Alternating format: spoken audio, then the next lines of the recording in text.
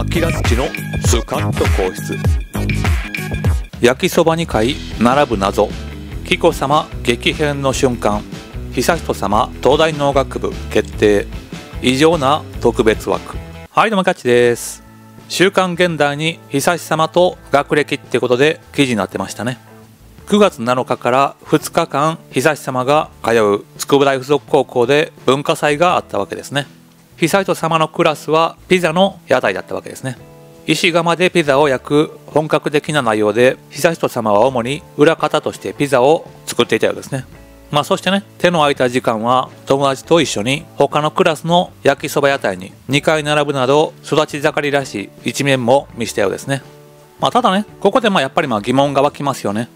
焼きそば屋台に並ぶのはねいいんだけどもお腹が空いていたら普通は2つ注文したりとかしますよね。まあそれがね1回目食べてから足りないなっていう感じで2回目並んだんですかね。まあ友達もねいたってことですけども普通は同じ店に並びますかね。他のクラスの人の分までピザを並んで、まあ、買ってあげたっていう記事がありましたけどもまあそれもね2回並んでましたね。2人分同時に頼んだら良かったんですけども並び直して購入したわけですね。しかもね自分の分ではなくて他のクラスの生徒の分を購入したわけですね。焼きそばに関しては自分の分だったんですかね。まあ美味しいかね。分かんなかったんで1回目食べてみて美味しかったんでもう1回ね並んでから食べた可能性はありますけどね。まあただね普通はまあ焼きそばは食べたから、まあ、次はね何にしようかって感じでなんかまあ別のものをね並んでから購入しそうですけどね。ただまあ紀子様はアクション様とね一緒に文化祭の初日に来ていましたけども、まあ、表情が険しかったようですね。まあ、別の記事ではね、アクションご夫妻が久志様のクラスの屋台に来た時は、まあ、シフトが違う時間帯でいなかったけどもと書いてましたけども、紀子様を目撃した保護者の話では、久志様を気遣って少し離れたところから屋台を見ていたようですね。ただまあしばらくしてから久志様を見守った後に歩き出した時に紀子様の様子が一変したようですね。ものすごいね、早足で前庭から校門の方に歩いていたようですね。まあそしてね、紀子様は秋島様の耳元で何やら小声でしきりに話しかけたようですね。まあこのものすごい早足っていうのは秋島様の方が早くね、移動したんでしょうね。まあそれに追いつくために早足で行ったんでしょうね。まあ紀子様のお顔には眉間に深いシワが寄っていて、かなり深刻な表情だったようですね。ただね、それを聞いていた秋島様はね、ほとんど反応を示さずに無表情だったのも印象的にはですね。まあこの状況、チャット GPT はどう判断したのか聞いてみました。一応ね、まあ夫婦でってことで、高校生の息子さんの文化祭に行って、同じような状況を書き込んだわけですね。まあそうするとこういう形で書いてきましたね。そしたらまずね、息子さんに関する心配事で、紀子様が久し様について何かね、深刻な問題とか不安を感じていて、文化祭の場でその感情が吹き出しているのかもしれないということですね。成績とか友人関係とか将来の進路についての心配が考えられるということで、まあ、夫はねそれに対して危機に徹しているとかもしくはね気持ちをすぐに表に出さないタイプかもしれないですね。他にはね夫婦間の意見の相違で息子の将来や文化祭の内容について夫婦間で意見が異なる場合もねあってから紀子様は久し様の現状に強い意見を持っていてまあそれをね夫に伝えようとしてるけども夫はね賛成しないのか冷静に対応しようとしている可能性があるとですね。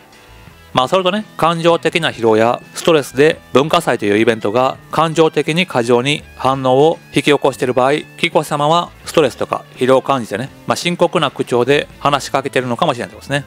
それでねアクション様はそれに対してどう対応すべきか迷っているのか静かに見守っている状況ってことですね。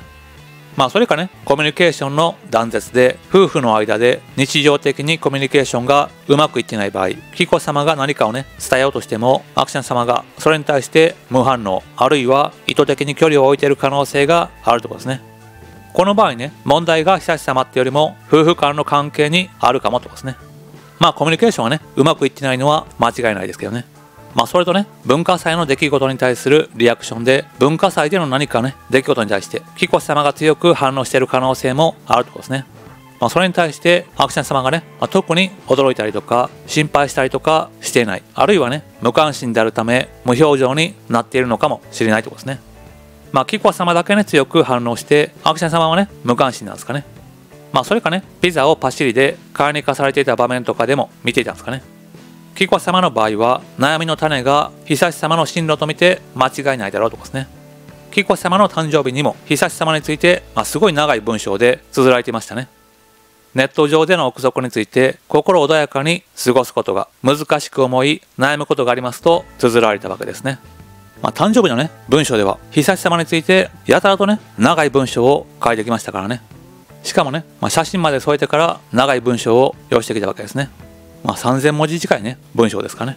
まあ、その後にもね久し様のことについて書いたりとかもねしてますからね。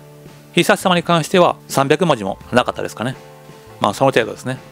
久し様の誕生日の文章はたったこれだけですからね。まあ、こんだけしか自分のね誕生日の文章を寄せなかったわけですね。まあ、吉田公職大夫の方がねたくさん文章を書いてますよね。久し様からの文章はたったこれだけですね。でここから下もね、まあ、公職の言葉ですね。久し様のお言葉がね、まあ、少なすぎるんでそれをまあ埋める感じで公子職がいろいろとね書いてますね。ちょっとね異常事態ですね。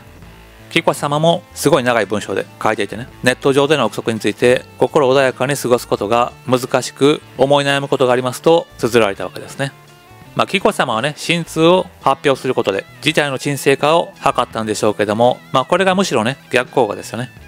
久し様の東大進学説に関しては、ますます加熱をしてきて、久し様の進路が、まあ、この時期になってもね、まだ明らかにされてないわけですね。まあ、これはね、異常事態ですね。皇族に関しては警備の問題とかもあるんで本来であれば1年ぐらい前から警備の準備とかを段取りしなければいけないわけですね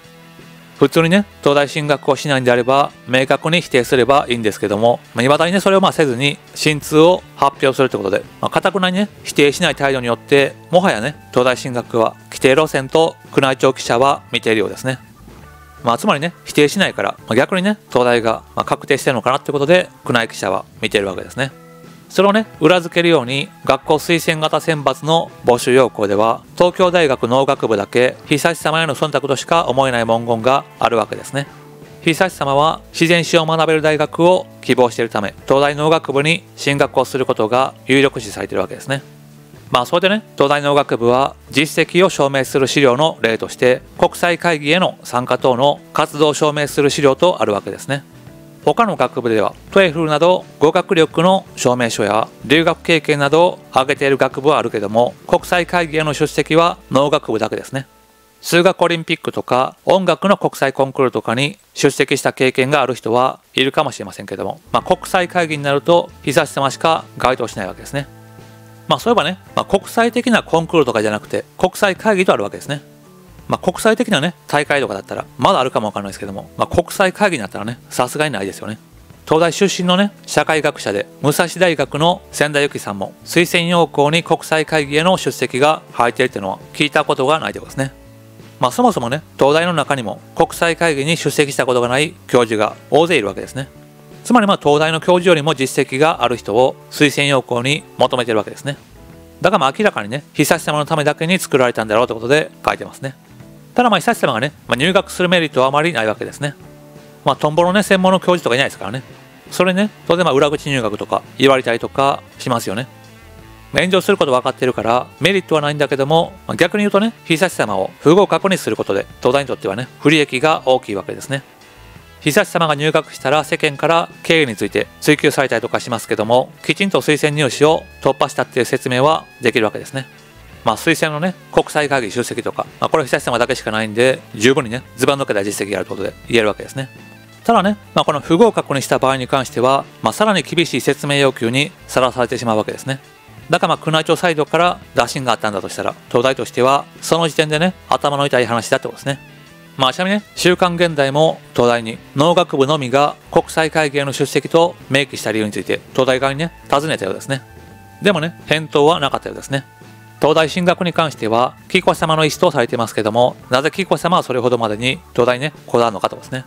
このことについて、アクション合祭をね、よく知る学習院関係者の話として、出発点はアクション合祭の大の学習院嫌いがあるんだろうとですね。アクション様はね、学習院の幼稚園から大学まで通ってましたけども、まあ、制約が多い皇族の暮らしが昔から嫌いだったんだろうとですね。だからこそね、その特徴ともいえる存在だった学習院も嫌いだったんだろうとですね。まあ、その証拠にね、アクション様は在学中に友達を作ろうとしなかったようです。そしてね、卒業後も学習院関係の冊子に寄稿したことはほとんどないわけですね。そしてね、同窓会への参加も断っているわけですね。紀子様も中等科から大学までが学習院で、大学時代にね、学内の書店で1年先輩だった秋先様と出会ったわけですね。ま、紀子様の父親は学習院大学の教授でしたけども、職員用住宅の 3DK アパートに暮らしたわけですね。学習院は上流階級ばかりで、紀子様は引け目を感じていたんではないかとですね。まあ、学習院に馴染めないからこそ、2人は惹かれ合ったんではないかとですね。秋先様もね、周囲に紀子様のことを自慢していたようですね。2人ともね学習院が好きじゃなかったから眞子さんと佳子様を ICU に入れたのではないかとですね久様はね間違いなく学習院大学はないですからね。まあ、お茶の水からねつくふときてやはりまあ東京大学が有力なわけですね。紀子様の父親も東大出身で誇りに思っていたし雅子様と比較され続けて東大をね狙ってるのかということですけども、まあ、雅子様に関してはね東大を滑り止めなんですけどね。まあ、周囲と比較されるのが嫌な紀子様ですけども、まあ、周囲の目を誰よりも気にする紀子様はやはりね久様を東京大学に入れたいんだろうとですね。まあ、東大農学部がね推薦要項として国際会議への出席を推薦要項として挙げて久様がそれを、まあ、クリアしている以上は受験してから不合格にすることはまずありえないわけですね。東大の推薦に関しては何点以上っていうのがねないから0点でもいけるわけですね。国際会議への参加の実績をクリアしているのは久志様ただ一人だったってことで言えますからね。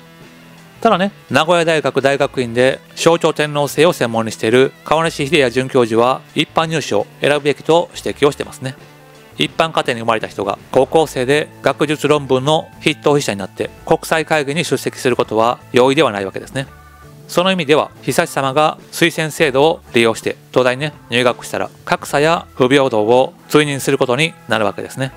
久様はね天皇になれなくても皇族として国民統合の象徴にならなければいけないわけですね。まあそうなるとね推薦制度は避けて一般入試を選ぶべきとこですね。まあここでね野間さんのことも書いてましたね。近所陛下と54年来のご学友で学習院時代の天皇陛下よくね知ってるわけですね。天皇陛下は非常にね記憶力がいい方で中学高校と成績は常にトップクラスだったようですね。それで代わりにね大学受験していたら、まあ、大抵の大学に合格をしていただろうとですね。そしてね陛下は特別扱いが何よりも嫌いで給食当番や日直当番も給油たちと同じように担当されて個性的な先生の話などでゲラゲラ笑い合ったりとかもしたようですね。でも常にね国民に目を向けられていて国民から敬愛されて天皇はねそれに応えるっていう関係がないと天皇制は維持できないということで誰よりもそれを理解されたわけですね。だからねそのための帝王教育を受けてきたわけですねだからまあ政治的な動きとかは一切せずに学習院大学まで進まれたわけですねまあ、逆に久志様に関してはね、まあ、どうかってことですけども久志様を敬愛する国民がどれだけいるかですね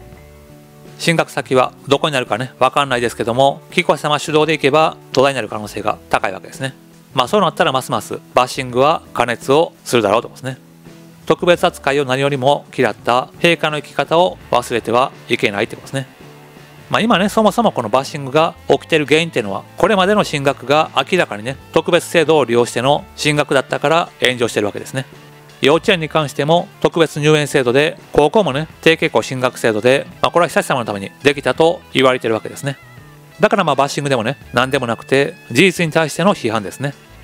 まあでも紀子様に関してはこれが憶測でバッシングをされていると言いたいんでしょうね。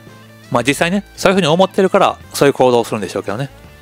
ただね、そもそも偏差値42のお茶の水から0点でも合格できる低傾向進学制度で男子3人が進学したわけですね。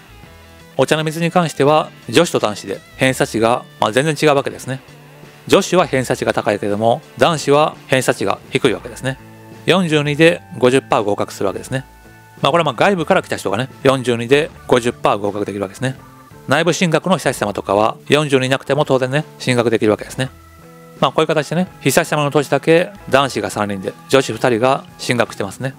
女子に関しては実力の可能性もありますけどもまあ怪しいですね。男子は間違いなく低傾向進学制度で言ってますよね。ちなみにねフジテレビの解説委員の橋本さんがね久志様は男子生徒の中でトップクラスと暴露してますね。男子生徒の中でトップクラスでも偏差値は47ぐらいですね、まあ、偏差値が47あるかどうかも微妙ですけどねでもね男子でトップクラスでも47ぐらいですねまあこの辺がね当然まあ偏差値42の学校から偏差値70を超える高校に男子3人がいたらねついていけませんよね教科書レベルの問題とかも答えれないですよね。まあそもそもね、男子が3人も進学している時点で明らかにおかしいですよね。でもね、まあこの辺の炎上が、紀子様は分かってないわけですね。まあこの炎上が理解できないところが、まあ、逆にすごいですけどね。まあ、眞子さんに関しても言われのない物語がとね、まあ、完全にまあ多くの国民を敵にしましたけどね。あれもね、眞子さんに対してはそんなに、ね、批判があったわけじゃないんですけども、ただまあ眞子さんが10月1日でしたかね、複雑性 PTSD を公表したわけですね。まあその辺からちょっとね、怪しいなとなりましたね。そしてまあ結婚するときに両陛下に感謝の言葉がありませんでした。私たちを最後まで応援してくれた人たちだけに感謝の言葉を述べましたね。確かに天皇陛下は朝見の儀をしてないから皇族としての結婚には反対していました。秋篠様もね、納采の儀をしてないから皇族としての結婚には反対をしていました。でもね、両性の合意だからと結婚は認めてしまったわけですね。でも紀子様はね、誕生日の文書でも、まあ、心配してる感じでね、書いてますね。元気にしてるかしらと思って遠く離れた場所に暮らす娘のことが心のどこかに感じられますってことで。なぜかね大喧嘩してるはずなのに楽しんだ思い出とかねまあ本当にそう思ってるのかどうかわからないですけどもでも。ね連絡は取り合ってる感じが書いてませんね。眞子さんの近況に関しては書いてないんで、まあ、関係はね今も悪いんでしょうね。まあこのね、悠仁さまの大学に関しても、2016年に始まった学校推薦型選抜を利用したら、国民からの批判の嵐は避けられないだろうとですね。宮内庁関係者からもそもそもね天皇に学歴は必要ないっていう声が上がってるわけですけども悠仁さまの進学先はどこになりますかね？まあ少なくともね秋田様のね誕生日会見の頃には確定してるでしょうからその段階でどういった会見になるかですね。ただまあ現段階で東大にね行かないことが確定してたら、まあ、少なくとも東大は否定してるでしょうからね。だからまあ現段階では東大を目指していることは間違いないでしょうね。まあ、久様に関してはね、フジテレビが皇室ご一家で捏造映像を出してきたわけですね。もうこれに関しては、ちょっとね、やりすぎですよね。さすがにまあ映像をね、民放が捏造してから報道するというのはありえないことですからね。しかもね、久し様の音声まで捏造してからね、入れてきましたからね。まあ恐ろしいですね。まあこれに関しては、どこからね、やるように指示が出たんですかね。紀子様からお金を出すから捏造しろとか言ったんですかね。どこからね、指示が出たのか、さっぱりわからないですね。もしこれがね、障害なのに、まあ、障害じゃないって感じで報道されているとしたら、一番苦しんでるのは久し様だと思いますけどね。まあ、久し様のことを本当にね、考えてるんだったら、功績離脱って選択も考えてあげないといけないでしょうね。そしてね、安定的なコミュニケーションに、すごい危機感を国民はね、感じないといけませんけども、まあ、多くの国民にね、今の皇室の現状を知ってほしいですね。まあ、それにしてもね、やはりまあ、悪いことをした人たちは、皆裁かれてほしいですね。あなたは誰が対象に逮捕されると思いますか？動画を最後までご視聴いただきありがとうございます。概要欄に Amazon アソシエイトリンクを貼っているんで何かお買い物をするときにこのリンクから飛んで好きなものを買い物してもらえると僕に少し紹介料が入るんで嬉しいです。またね、メンバーシップでも定期的にどんな商品が購入されたかも発表しようと思います。誰がね、購入したとかそういったことはわからないんで安心してください。皆さんのサポートがこのチャンネルの成長に大きく貢献するんでよろしくお願いします。またね、チャンネル登録もまだの人は登録お願いします。